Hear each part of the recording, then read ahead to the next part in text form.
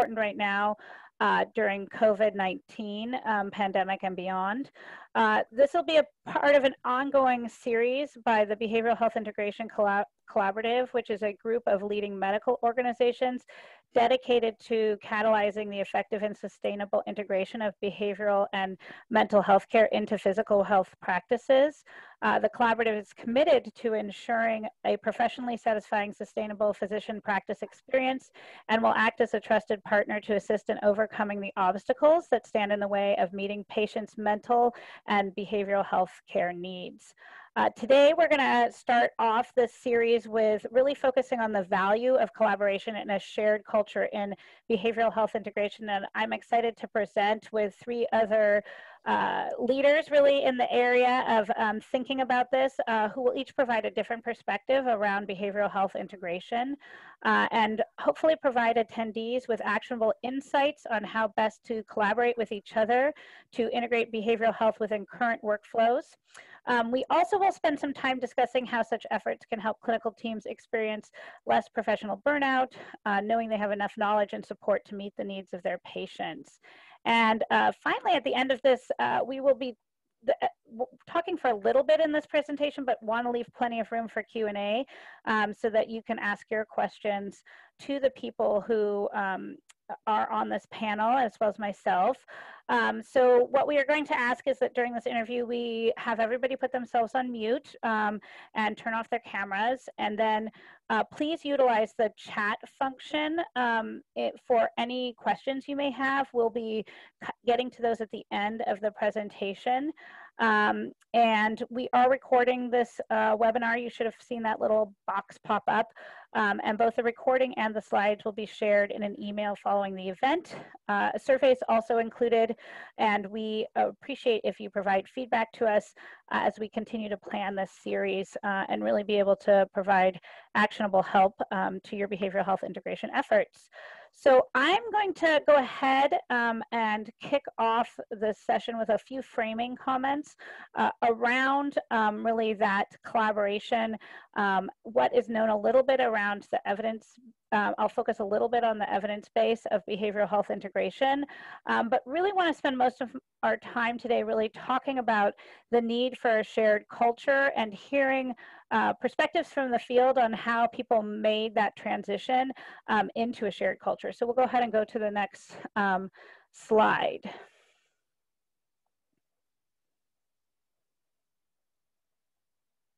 Okay, so uh, I like to start out um, when I'm speaking about behavioral health integration with this World Health um, definition of health, uh, and the fact that it, you know, health is a state of complete physical, mental, and social well-being, not merely the absence of disease or infirmity. Infirmity, and though all, we've known this for a long time, I mean, this quote is from 1948. I think really only in the last 15, 20 years have we really seen people starting to think about models of how to move in the direction of accomplishing, this first in research and now really, um, I think, moving that out into the real world in a very meaningful way across many practices across the United States.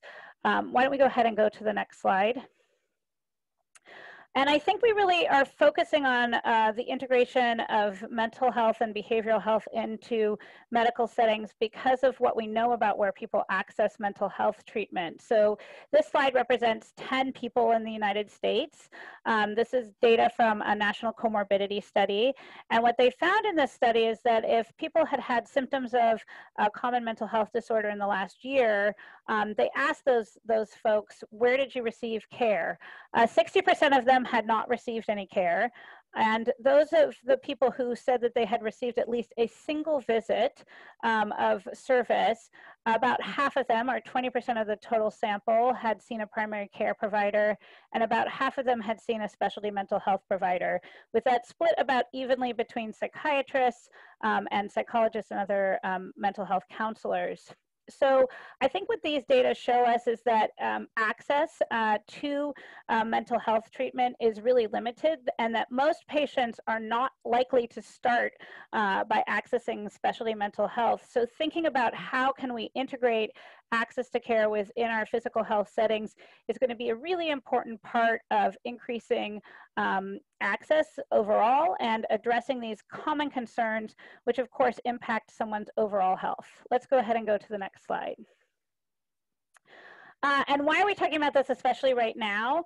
Um, so uh, we are focusing on this now because um, of the concern for increased behavioral health burden uh, due to COVID-19 pandemic. Uh, I went to try to find some actual data because I have a lot of anecdotal practice um, experience related to this, but wanted to give you all some actual numbers um, and went to the um, CDC website, which you can see referenced on the bottom here.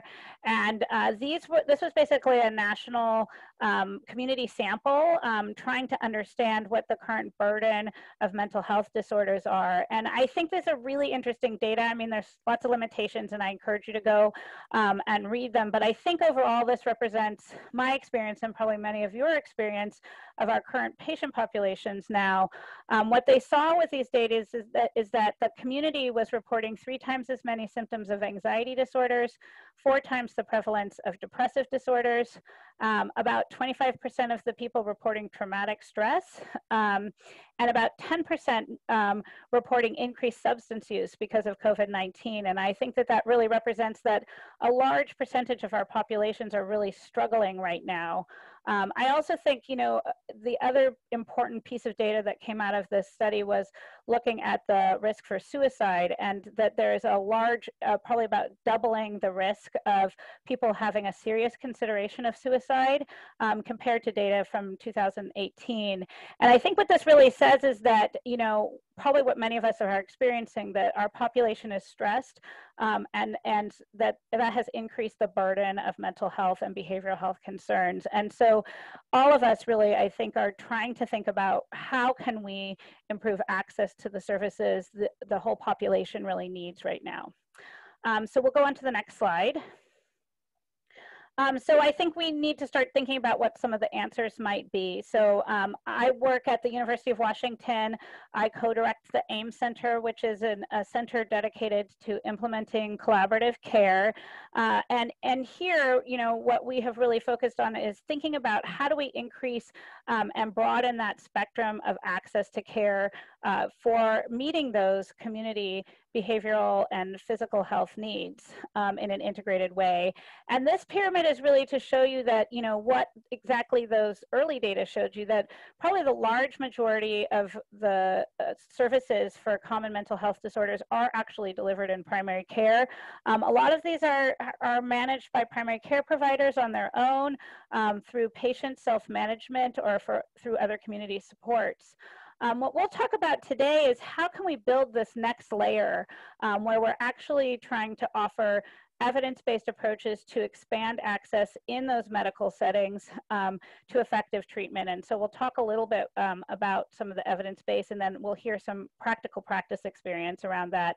Um, and this is, of course, not going to meet all the needs, but we're hoping that by creating a, a bigger spectrum of care um, that pulls a little of the burden off of our specialty mental health settings, really providing more access overall for all of our patients. Let's go ahead and go to the next slide.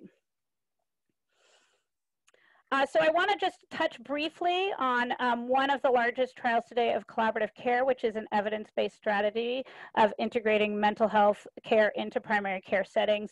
And what I want to focus on is less the details of this actual model, but more on some of the principles that we think really drives the better outcomes of care that we're seeing in this model as uh, principles to strive for as you begin your journey towards behavioral health integration.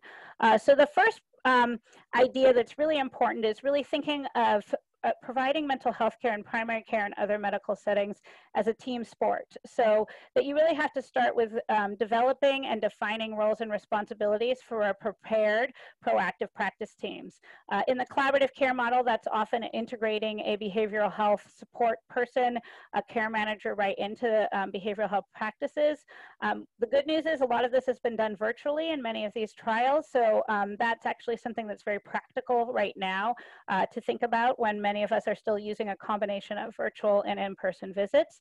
Um, this model also leverages psychiatric expertise in a really specific way. Um, so it brings in psychiatrist or psychiatric provider support to actually help that team with treatment, decision making, and diagnosis um, through um, a case review process. So that's really starting with the team.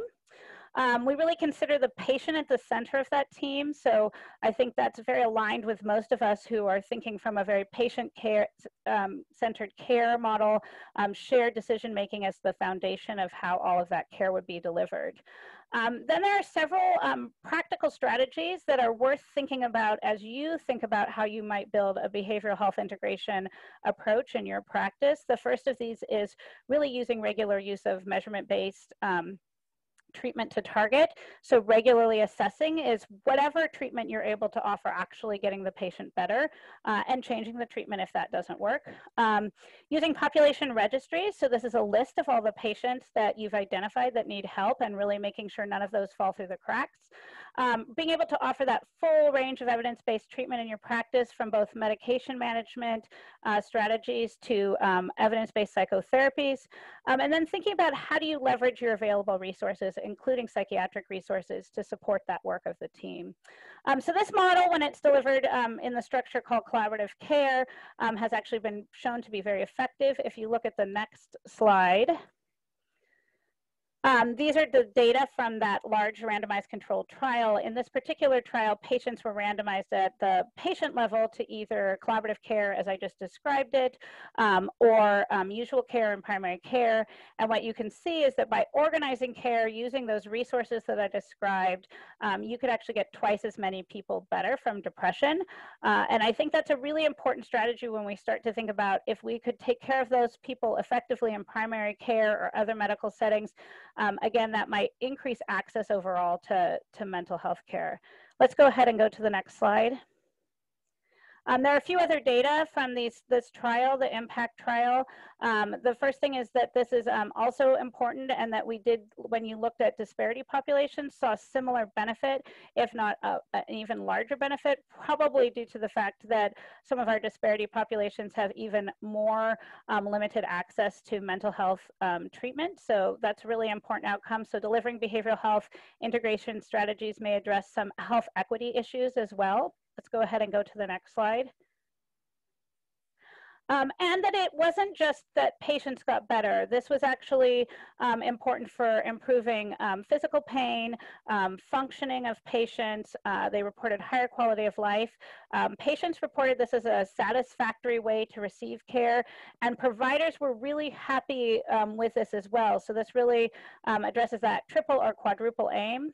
Um, I think it's also important to note that in this particular study, they were able to show reduced healthcare costs overall when they looked at those costs over the next four years patients that had been treated with the collaborative care model um, had a reduction of about $4,000 in healthcare spending, most of that attributed to um, a reduction in physical health hospitalizations. Um, so I think this again emphasizes that when we address mental health conditions, we're actually addressing that whole person um, and really um, improving their overall health. We'll go ahead and go to the next slide. So I wanted to give you a very brief overview um, of uh, why we're here today, um, a little bit around some of the evidence base uh, and some of the practical pieces that you might want to be thinking about building in your practices as you work on um, behavioral health integration, and then really spend the rest of this time actually hearing from our three panelists about their journey um, in, in building kind of a culture of collaboration and behavioral health integration into their settings. Uh, I think we'll talk a little bit about how did they sort of um, build a shared culture uh, that that requires sort of bridging between the mental health culture or behavioral health culture and a physical health culture um, in terms of how providers approach um, addressing care.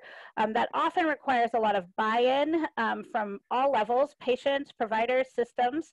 Um, it also is really important that people identify what are their goals, um, what are those first goals, uh, and making sure you have a good way to measure those and assess assess your progress as you start on your behavioral health integration journey.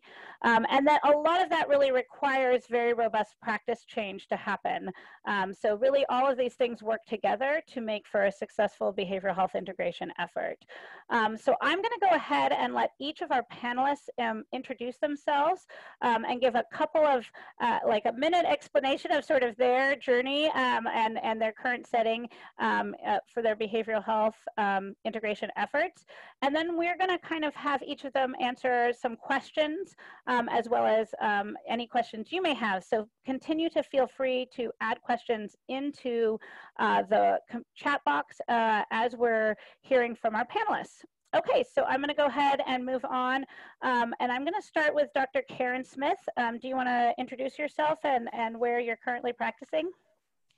Yes, I'm Karen Smith. I'm a family physician and I practice in Raeford, North Carolina. It's about 20 miles south of the Fort Bragg, Fayetteville area.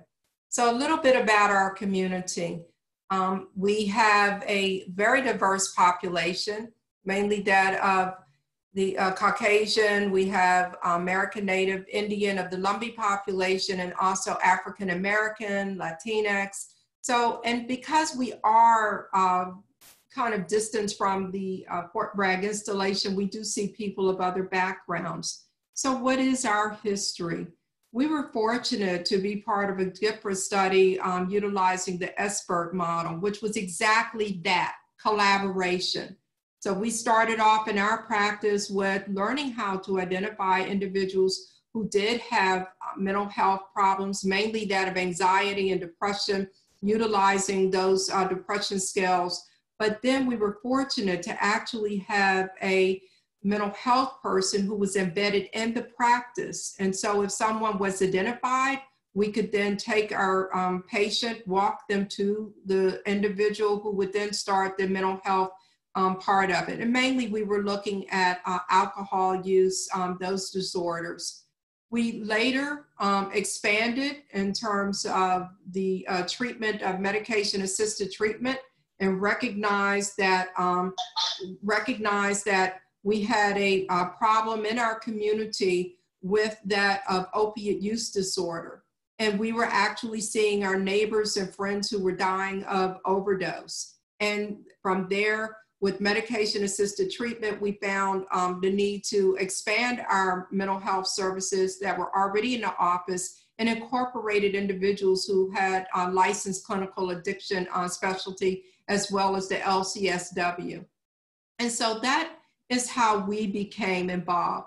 I want to say the key um, for us as a family physician, recognizing the, the need of the patient centered medical home, one stop shop, and knowing that we were taking care of their medical problems as well as their behavior health problems. The motto in our practice started off with we are the power of touch, physical, spiritual, and emotional. So we wanted to make sure that we were taking care of the whole person. Thank you so much. It's really exciting and inspiring to hear about your journey. And we'll come back a little bit later to hear a little bit more about um, especially patient and family experience um, since you've made those um, important transformational efforts in your, your practice. Um, let's go ahead and go to Dr. Rhodes um, and hear a little bit about what brought you into behavioral health integration. Sure. Um, I'm Corinne Rhodes, and I'm an internist at Penn Medicine. And so I practice in my practice site is in West Philadelphia. And I'm taking a slightly different perspective here uh, than Dr. Smith is talking about. We implemented our program as part of a Medicare demonstration grant. Uh, comprehensive primary care plus and so we had to look at a large systems level um, to implement behavioral health uh, as a mandate by the end of a year and so we had a very tight timeline to do this. And the way that we did it was actually twofold. Uh, for eight of our practices initially we embedded a licensed clinical social worker eh, with a similar model to what you just uh, demonstrated. And in addition to that actually had a um, we have a triage service uh, that is staffed by uh, mental health intake coordinators that's able to kind of funnel our patients either to the LCSWs within the practices or based on their insurances or their needs, find them another place to go outside of our practices if they need that. The other uh, components of our practices actually um, worked with a private company, and then we're able to embed behavioral health uh, within those practices by partnering with that private partner. And it's really been interesting. I happen to be in one of the practices that has an LCSW that's within our system and supported by our system as well as supported by psychiatry. And it's been transformationally wonderful to see our practice before and after this. Um, and then I think also very interesting from a systems level uh, to look at two side by side programs and, and to see the, the strengths and the struggles of each of them. Thank you. It's really helpful to hear that sometimes you need multiple approaches to actually start to address the needs of your populations, given the resources that are available. And I think we can touch on that um, a little bit more as well. And I'm going to um, turn to Dr. Schlesinger. Can you share a little bit about your journey? Yeah, my name's Abby Schlesinger. I'm a child and adolescent psychiatrist, but I'm here because I'm the chief of um, integrated care for uh, Western Psychiatric Hospital and Children's Hospital. And uh, my journey started over 20 years ago in a rural clinic in Pennsylvania um, with a simple integration with a local mental health clinic. Um, but at this point, we I have more of a systems perspective where we um, implemented a large network of um, embedded primary care in primary care of LCSWs. We then moved to psychologists embedded in uh, specialty services in our hospitals, um, and then moved to the adult primary care world with LCSWs embedded there. Um, I, resonate very much with this idea that you need to sort of strike this from multiple angles. Uh, we've been able to get some additional funding to do a, what's called an MCPAP-like model, which is a model where a psychiatrist is available to answer questions from a primary care doctor. And we've been able to implement that successfully on the child side um, and also to some extent on the adult side. Um, and now we're also expanding into um, doing more of a coordinated model where we're uh, identifying kids at risk for substance use and having a psychiatrist, primary care doctor, and family work together to try to get them moving in the right direction. So it's great to hear both from the perspective of sort of a broader range of the age span. So I think that's often a question that comes up is sort of how do we think about that full age range from pediatrics all the way to geriatrics. So fun to hear about one end of that spectrum. And then um, I think also just we will get into talking a little bit more about that systems perspective because I think um, how the system is ready to, you know, and prepared to actually um, take on this new scope of practice in some ways um, can be a really important part of building success in your program. So excited to come back and talk to you a little bit more about that.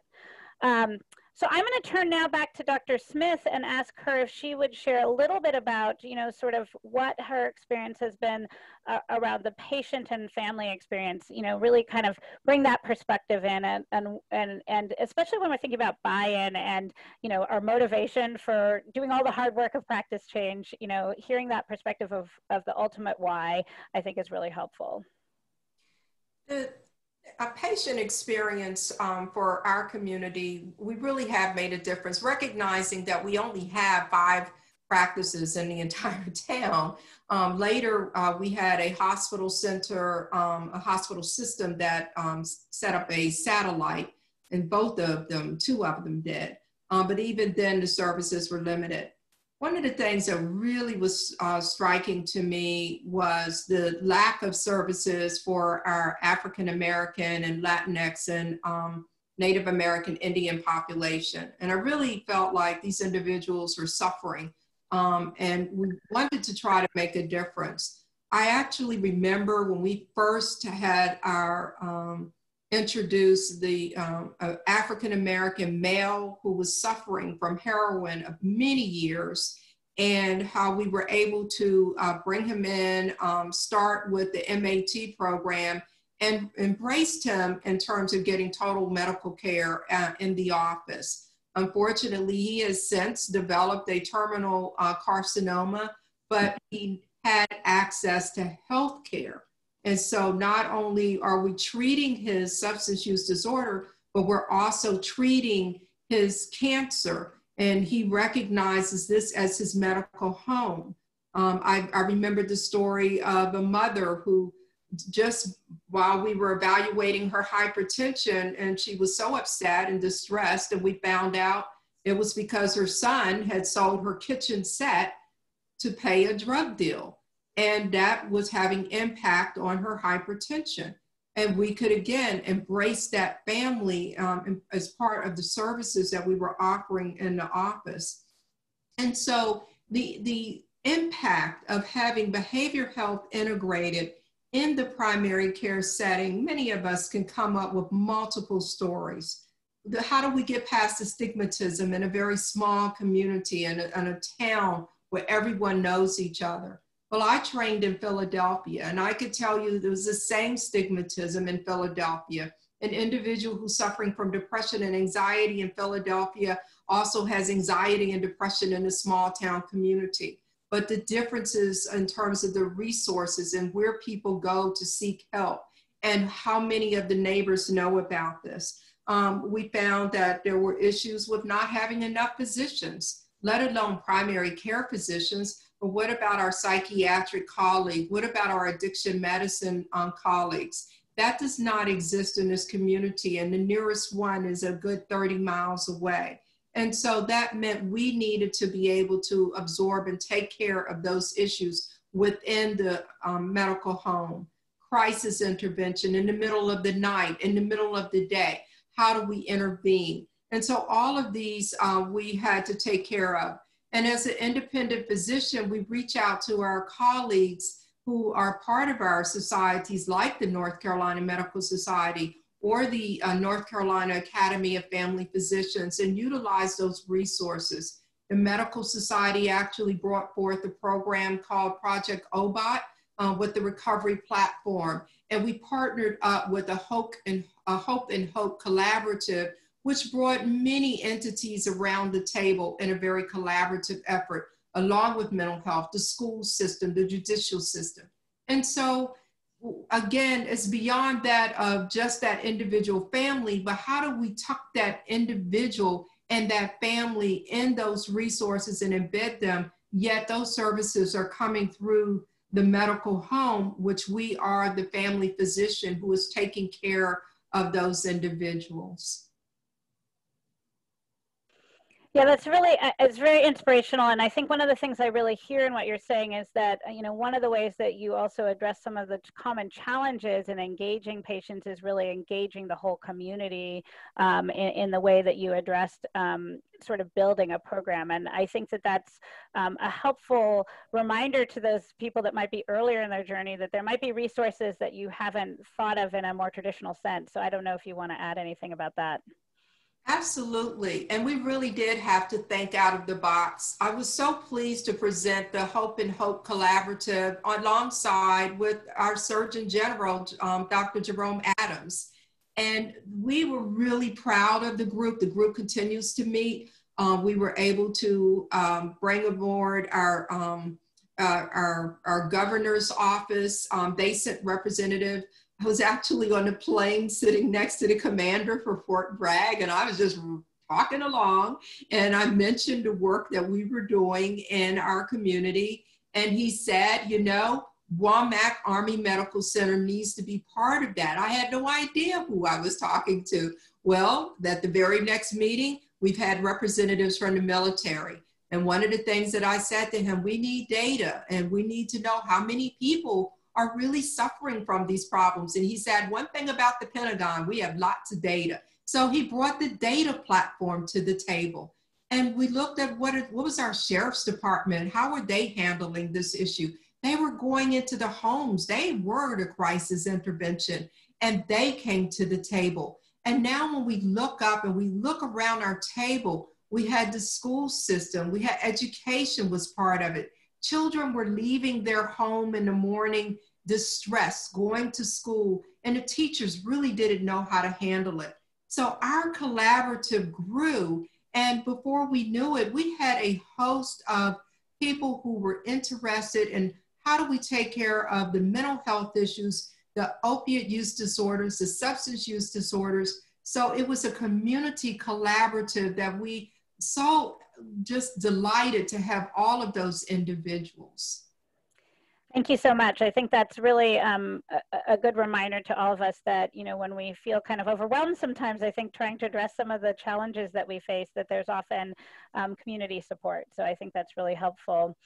Um, I'm going to turn now to Dr. Rhodes and, and talk a little bit about the provider experience, because I think that, you know, we heard a bit about the patient, family, and community experience and how valuable that is. But um, I, you know, my own experience in partnering with um, primary care settings as a, as a mental health professional is that that provider experience is very important to try to build these new programs. So I guess I'd love to hear a little bit about how how that's worked in your practices. Absolutely. I feel like we're going from kind of like the macro community to the small community of the practice.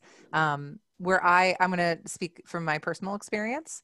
Um, when I started uh, my practice, I think it was incredibly frustrating as a provider to see the same patients again and again, to print out lists, to tell them to call places, to try to connect them with resources, and find that patients were not connecting um, to the services that we know that they needed, to see them without the motivation to follow through on a plan and not be able to kind of move their care forward or not be able to help navigate the system for them.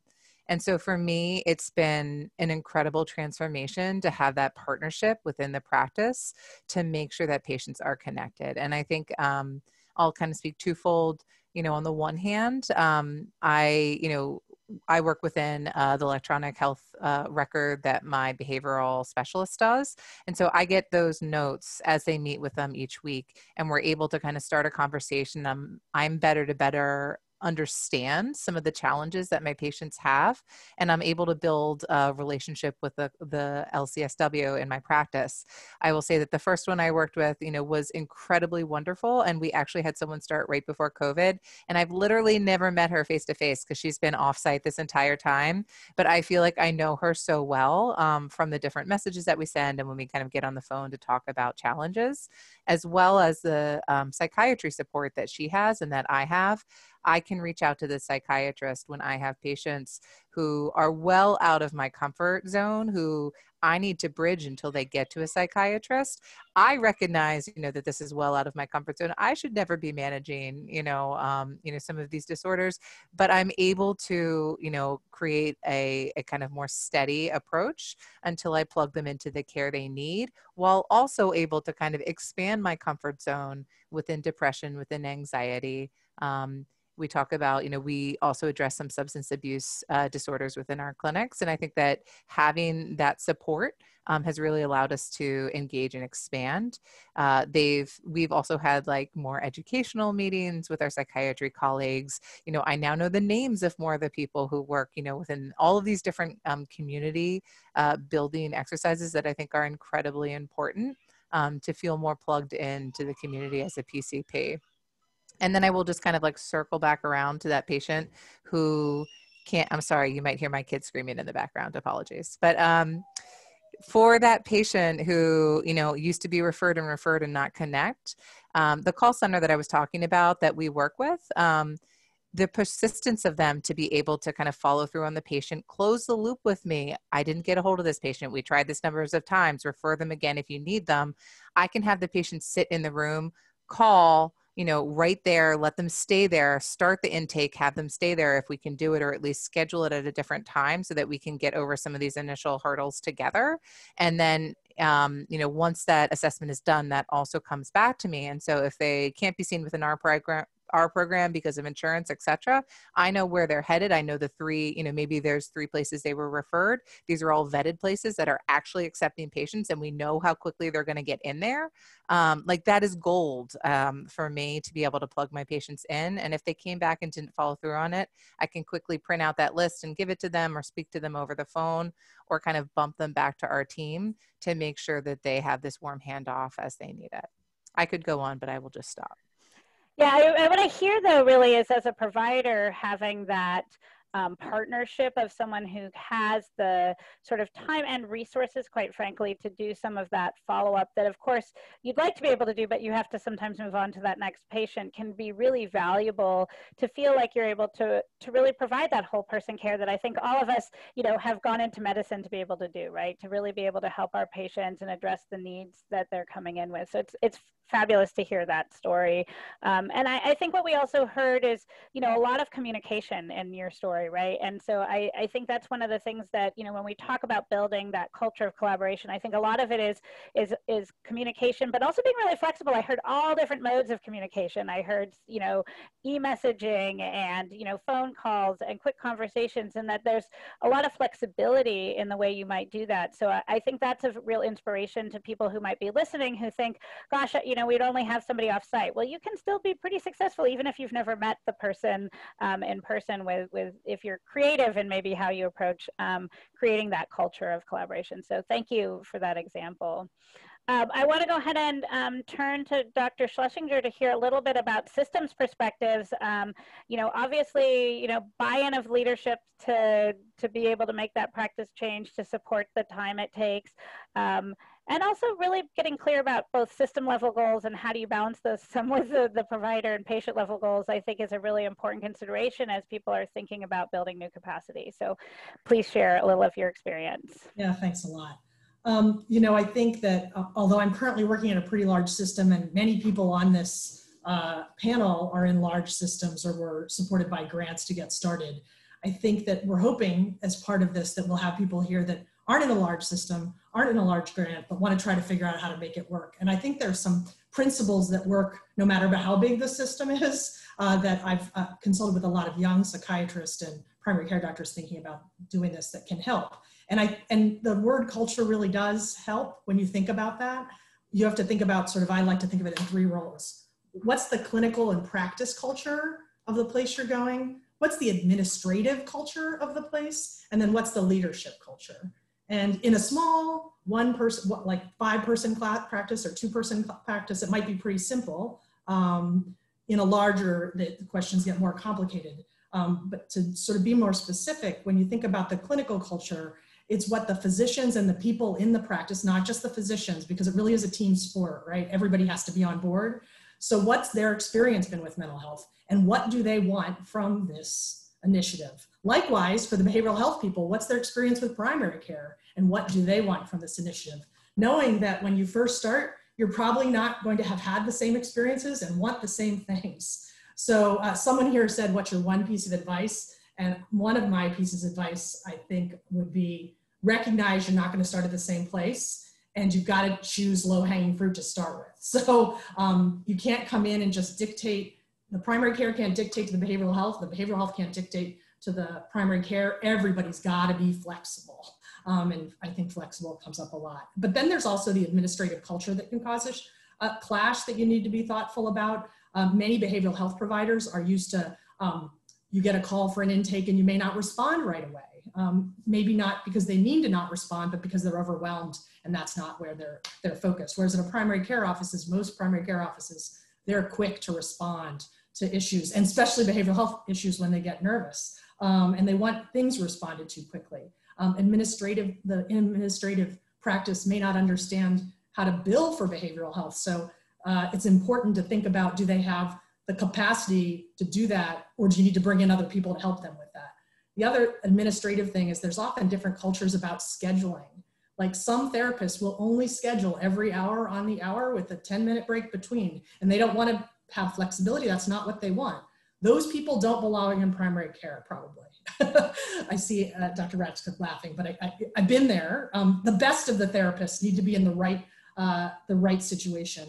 And then finally, there's the leadership culture. And, you know, just like in medicine, there's who says they're in charge, and then there's who's actually going to help you implement on the ground. So you may have to make a lot of friends, um, both the ones that are sort of maybe writing checks to get things done, but also the people that are really going to be the ones that make it work for you uh, when you're doing the implementation. So, you know, I think those, if you think about those cultural things related to the practice, the administration, the leadership, that that would work whether you're in a small practice or whether you're in a multi-system practice across the board.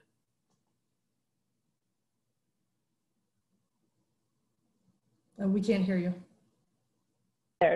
My screen decided to block my unmute button. Um, so uh, I just, I really thank you for giving some like really practical um, strategies. And I think having that conceptualization of those different um, groups that really need to have buy-in um, to get started is really helpful. And I, and I agree, it's, it doesn't matter whether you're, you know, two people trying to figure this out or, you know, a whole large um, scale system, you really do need to have those, those, you know, that balance of like motivation, practical considerations, and then and then a shared understanding. And I, I mean, I think identifying goals should probably be identifying shared goals because I think you know at the end of the day, you probably need to find something that everyone can at least agree is an important place to start, um, and and have a, a shared understanding of what success would look like, so that you can all be working towards that goal together. And I, I think that's a really helpful thing, um, even if you're starting small. I mean, it might be like really building a great referral system, right? And that that might be the first thing you you need to do. Um, that was part of what Dr. Rhodes talked about. Whereas, you know, you might also want to try to bring someone in, and those are two different strategies to hopefully accomplish that same goal of um, increasing access, right? Um, making helping our patients get to where they need to go. I just think that's so important because if you agree on what your first goal is, then you can build on success if you don't agree on that first goal and you like place it too high or you're not really a team sort of figuring it out then it doesn't matter what you do you're not going to feel like you were successful so yeah, and it's really important to talk about it. I remember one of my early implementation efforts, we were integrating uh, physical health and behavioral health actually in a community mental health center. And um, the you know mental health folks were really excited to have physical health there because they wanted lithium levels. And the um, physical health people there were like thinking about cancer screening. And those were you know potentially aligned goals, but not yet aligned until there'd been some conversations. And making sure that everybody has that conversation as you're starting um, can be really helpful to getting off on um, a good expectation, shared expectation, shared um, journey. So thank you for some guiding um, ideas. I think we should move on to some of the um, questions because, and I, I, think you already answered the first one, Dr. Schlesinger, which is sort of what's a piece of advice. So uh, I think I would like to go ahead and um, see if Dr. Rhodes or Dr. Smith wants to chime in with, with their words of wisdom um, for that practice, kind of just um, getting started. Like, what do you wish you'd known before you'd stepped into that journey? You want to start, Dr. Rhodes? Sure. Um, just get my video up. Yeah. I think it's I think what resonated with me so much is what are the goals and and how will we get there?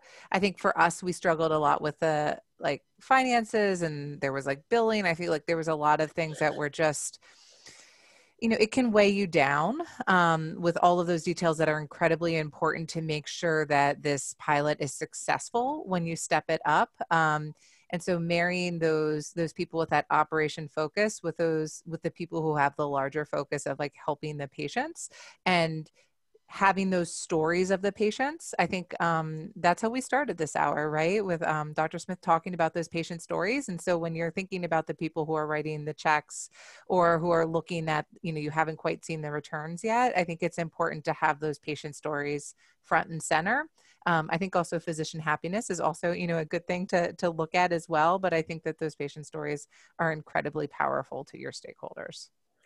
Yeah, I think that's a great thing to think about because I think we can't undervalue enough the power of story, especially in the early days of your program um, when you need those early wins.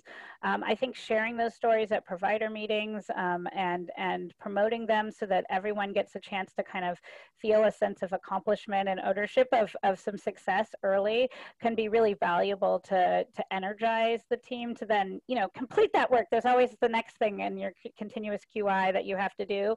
Um, and sometimes before you have hard data, um, those stories are really sustaining. So I, I, love that example, at least that's definitely been my experience as well. So um, Dr. Smith, do you want to add your words of wisdom? The best thing that I can come up with is, is to identify that champion. Um, the person who really wants to do this. I can tell you, I, I, have lots of stories. So when we introduced our very first patient who had opiate use disorder. It was a disaster. I actually had to call the sheriff's department.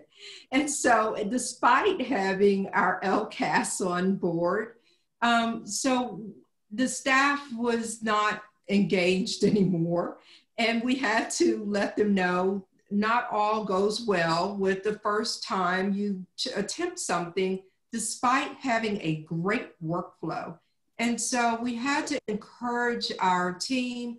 We had to be able to go back and revamp and, and redo it and, and make sure that everyone was part of it.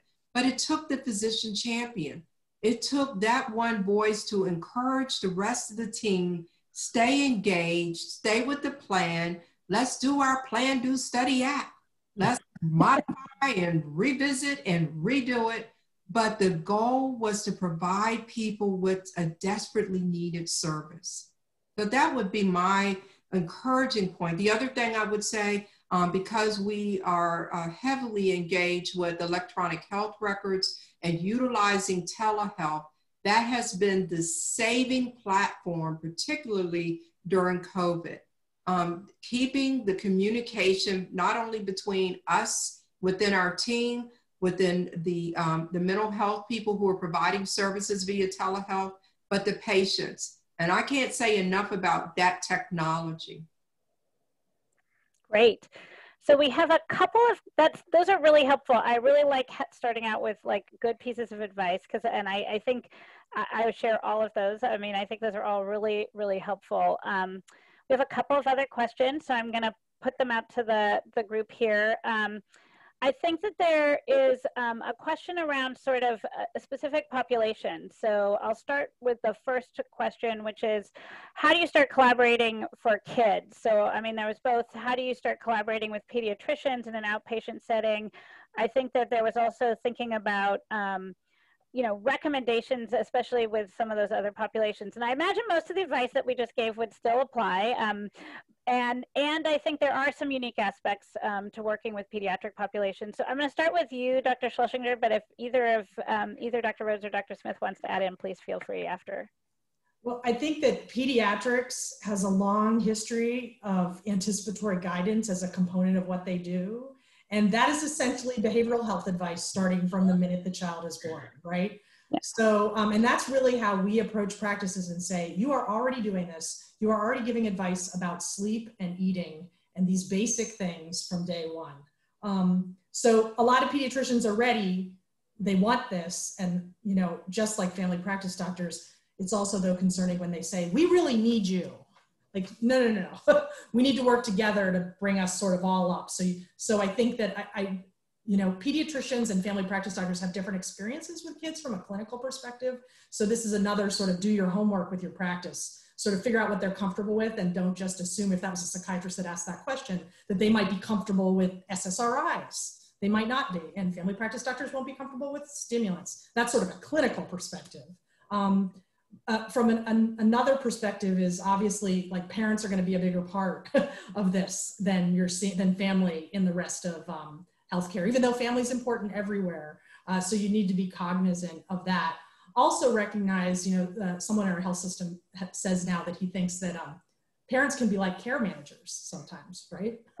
so, um, so you may be able to really leverage that mm-hmm. to help make the services sort of even flow a little longer than you might than you might be able to with other populations. Um, you know, I think uh, there are less child psychiatrists per child out there uh, than general psychiatrists. Geriatrics has the same problem on the opposite end, of the spectrum, um, that there, there never going to be enough of us, even close. Um, so, you know, I think that um, we have worked hard to work with all of our allied health professionals um, who are really starting to identify nurse practitioners and PAs that are becoming the behavioral health specialist in the practice. Uh, we really encourage them to call to consult with our psychiatrists on a regular basis um, because they may or may not come with as much um, sort of history as, as, as psychiatrists do in terms of training. So I'm not sure I answered your question, but yeah, I heard a couple of things that I'll just kind of highlight. I mean, I think one of the things is really um, thinking about what where there's common ground already. So there's a lot of things that you know um, are in common between sort of the goals of behavioral health and the goals of a pediatrician or family doc who's working with kids, right? So the idea that you can really um, anticipatory guidance, that behavioral interventions early, you know, all of those things are things that I think there's shared goals around. And I think um, I also heard in there um, a lot around um, thinking a lot about what people are going to be comfortable, like what's the next step in comfort that you can build in a practice. So, you know, really thinking about you may not be able to go all the way from, you know, being comfortable with some anticipatory guidance to using an antipsychotic, right? So you're probably going to have to like work in increments there. And we're happy about that, right? Yeah, you know, I think another thing that I forgot to mention that I think is really key, if you don't have a relationship with your local pediatrics group or pediatrician yet, call them and offer to do 20 minutes on an SSRI, 20 minutes on depression, 20 minutes on anxiety um, over lunch. Just a little bit of education goes a long, long way to starting to build that that um, relationship. And you know, I remember when I first started with the pediatricians in our area, I'd do a little talk and then I'd leave time at the end for them to ask about their last patient. um, and I learned more about what that practice was doing and who was going to be my partner and who are the cowboys um, that I might need to sort of rein in a little bit in those 20 minutes that I just sort of left open to communicate and learn um, than I did uh, sort of in the teaching. So getting your foot in the door with some expertise, but then really um, spending some time answering some questions can go a long way informally. And I guess in these days of COVID, you know, we've been concerned that new programs might lose that because you're sort of scheduling things and not leaving unstructured time. So I would really encourage you to leave some unstructured time if you're just getting your foot in the door with a group uh, to start to make your friends and figure out who's going to be your champions. Yeah, I was hearing that really starting with a relationship and building that, and from that, you guys can, you know, build a, a you know, a shared vision for for the future together. So I think that's really helpful advice. Um, I'm going to pivot. There was another question here uh, around um, sort of the other, uh, you know, another population that we sometimes uh, struggle with, which are people who have chronic illnesses. Um, so people with, you know, diabetes, um, cardiovascular disease, um, and that that they often have a high level of risk factor for depression. And sort of, I'm curious if you know either Dr. Rhodes or Dr. Smith wants to cut. I think Dr. Smith, you unmuted. Maybe you want to say something about that and how behavioral health integrations might be integrated into the care of those patient populations. This is a very important topic, um, particularly as many of us are entering into the world of advanced payment models um, with the accountable care organizations.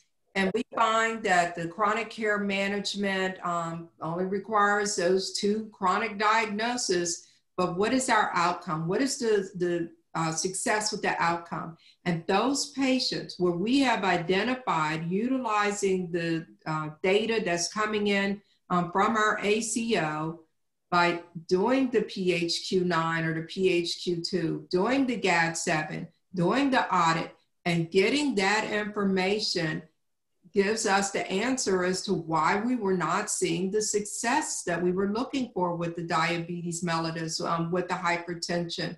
And so we actually pulled those patients together. And from that, we were then able to add those additional resources to take care of the mental health issues. And from there, we would then see a better outcome with the chronic diseases. I can't say enough in terms of the importance of integrating the two. If we're going to check a blood pressure, then do a PHQ-9. That information is important. And then when we get the information, do something with it.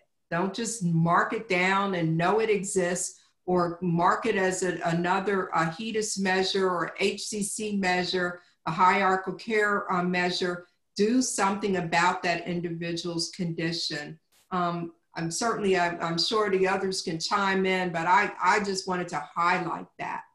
Yeah, no, I really appreciate that. I mean, I think one of the things you're saying sort of addresses the question that came in too, which is that sometimes we can see elevated PHQ-9 scores in patients that have chronic illnesses. And I think what I hear you saying, and, and this has been my experience, is that that may be a real depression that needs to be addressed or you know something else and so not to ignore those data right like that that's a really important part of whole person care so i think that's a really helpful um, focus um, and i see people kind of exclamation pointing all of those great points that you're making. Um, so maybe I'll, I'll, turn to Dr. Rhodes for the, the last question and, and, you know, then I'll give a minute for our other panelists to chime in. Um, you know, I'm curious about, I think people are interested to hear how sort of patients and families have responded to these models. I mean, you talked especially about the provider experience, but yeah. I, you know, you have kind of two models going on. I'm curious, how, you know, how that has been in your system. Um, I would say that, you know, overwhelmingly patients have been happy you know overall with the system. The navigation is much easier. They've you know really enjoyed the time uh, that they've spent with lcsw um, i will say though that not everything right is is roses you know um, there are some patients who at the end of we do a brief intervention and it's usually eight sessions. Sometimes there is some wiggle room one way or another but when patients do need to be transitioned to someone else that is a dissatisfier. Um, they've just built a relationship with someone and why can't they continue to see this person? Another dissatisfier um, could be costs. Um, sometimes, especially our patients with high deductible plans, the way that our cost structure is uh, kind of put forward and the codes that we're using in order to pay for our call center and other resources, it can be felt differentially by different patients. And we don't always know, right, going up front. And so we have disclaimers that we have to read, but that doesn't feel the same as a bill. And so, um, it's i think those are the two major downsides but generally overall i think our patients have been so thankful to get plugged in. This was so much easier than it was last time. Why didn't we have this before? Um, you know so and so has been so helpful for my care. Yeah. Did you want to add anything dr schlesinger? Sorry i was looking at the the message i got here. I, I guess what i wanted to say is that patients love this. Yeah. Families love this. Parents are really fearful to take their kids to behavioral health um, even in days of the pandemic, when um, we're talking about how everybody has additional sort of behavioral health load, um, there's still stigma. So, you know, these programs, even though I think you're right, once they like their therapist, they don't want to move. Um, but uh, it really can help sort of for families that have never been exposed to the behavioral health system that may need to go that direction before to give them sort of a nice transition in a place that they're comfortable. So, you know, yeah, even if it's hard, it might be still supportive to make that transition into into the level of care that they're actually going to need for the long term. So I will second that absolutely. Yeah. Dr. Smith, did you want to to add anything else? I did. And because we are providing the services within this patient centered medical home, everything we do in the practice, and most of us do, is centers around the patient. So we've actually been able to minimize that stigmatism. Other people don't know why they're coming in and they're meeting with the counselors um, in the days when we had face to face and everything's telehealth now. And so we were able to minimize that. One of the concerns that I do have, likewise, is the cost. Um, I, am in a state where we do not have the uh, healthcare insurance, uh, Medicaid expansion, and other types of services that pay for those services. We don't have that. And I, I worry about that. The other thing I worry about is when we have uh, these other entities coming in who want to provide the mental health services for our patients, yet we really don't know them. Um, they're kind of vendors who are doing this on the side. Well, it takes away from that continuity of care. And that I, I do worry about. I recognize it's a source of a service, it's a nice service, but making sure if we're going to utilize it, that we have also implemented the trust factor. Just let our patients know that this service is one that we trust. And just as you trusted me, I want to make sure that you're getting what you need. And if we do that, I think we'll, we will have greater benefit for our patients in terms of the access and the quality and the efficiency of the services that we're trying to provide. Yeah, I really appreciate you saying that because I do think it means a lot to patients when you can say, you know, this is a provider that I know would be a good fit for you, even if it's hard to make that transition. This is a service that I think could be really helpful for you that um, that you can leverage that trust, that relationship, and really make a big difference in people feeling the support they need to make it over that barrier sometimes of, of connecting to the support they need. So that those are, I think those are all really important things. I think hearing about some of the things that you need to consider is really helpful. I mean, I think anticipating some of these challenges um, will help you as you start your journey. I, I, feel really inspired by the stories we've heard today. I, I really am grateful um, for this panel um, and all the wisdom you guys have shared today. So thank you guys so much. Um, and I know that it, we're at time, so I'm going to end. Um, and I think our AMA colleagues, you know, the series continues. So if you found this helpful, um, the next set of these series are really going to dive into each specific topic. Some of the things that we kind of touched on at a highlight, financing, um, building workflows, those kinds of really practical details that I think are really helpful and can sometimes be obstacles obstacles, but um, as you heard today, can be overcome. So um, thank you all for um, your participation and for those of you who listened and asked questions. Um, I think it's um, really exciting um, to see all of the people invested in, in this work and, and increasing access to effective mental health treatment. So thank you all. Thank you. Have a good night. All right, thank you.